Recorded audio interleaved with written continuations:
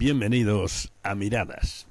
Continuamos avanzando por el libro de los Salmos y acabamos de llegar al Salmo 60, otro de los que escribió David, que trata un tema sorprendente, aunque sin duda de gran ayuda para nosotros, pues el tema del Salmo es confiar en Dios en la derrota, porque cuando la derrota es a causa de un fallo, de un pecado, de no hacer caso de la palabra de Dios, se acepta, pero cuando es incomprensible, cuesta mucho más mantener la confianza en Dios tras sufrirla. Leeremos el Salmo entero para después meditar los primeros versículos. El Salmo 60 dice así, Oh Dios, tú nos has desechado, nos quebrantaste, te has airado, vuélvete a nosotros. Hiciste temblar la tierra, la has hendido, sana sus roturas, pues titubea. Has hecho ver a tu pueblo cosas duras,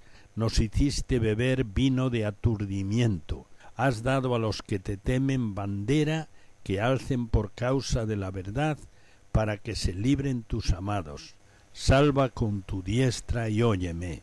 Dios ha dicho en su santuario, yo me alegraré, repartiré a Siquem y mediré el valle de Sucot Mío es Galaad y mío es Manasés, y Efraín es la fortaleza de mi cabeza. Judá es mi legislador, Moab vasija para lavarme, sobre Edom echaré mi calzado, me regocijaré sobre Filistea. ¿Quién me llevará a la ciudad fortificada? ¿Quién me llevará hasta Edom?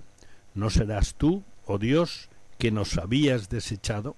¿Y no salías, oh Dios, con nuestros ejércitos, danos socorro contra el enemigo, porque vana es la ayuda de los hombres. En Dios haremos proezas y Él hollará a nuestros enemigos. Como hemos prometido antes, vamos a leer de nuevo los versículos 1 al 5 de este Salmo 60 para comentarlos después.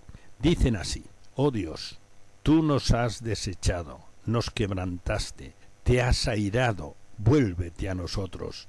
Hiciste temblar la tierra, la has hendido, sana sus roturas porque titubea. Has hecho ver a tu pueblo cosas duras. Nos hiciste beber vino de aturdimiento. Has dado a los que te temen bandera que alcen por causa de la verdad para que se libren tus amados. Salva con tu diestra y óyeme.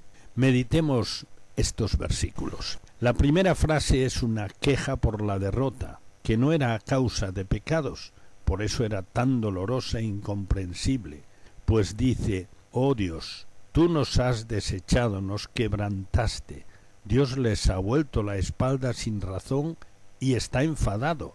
Por eso surge el primer ruego en la frase siguiente que dice, te has airado, vuélvete a nosotros.